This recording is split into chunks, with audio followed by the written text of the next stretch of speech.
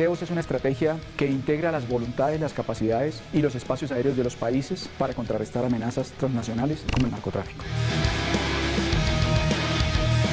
Nos tocó comenzar a hacer acuerdos bilaterales con cada nación y de esa manera pusimos de acuerdo a estos 40 países que nos está dando muchísimos resultados. Nos muestran la incautación de más de 500 toneladas de cocaína. Esto es un valor aproximado a 18 mil millones de dólares operaciones internacionales que hoy son orgullo para todos estos países que nos permite a todos de forma colectiva y común luchar contra ese flagelo del narcotráfico.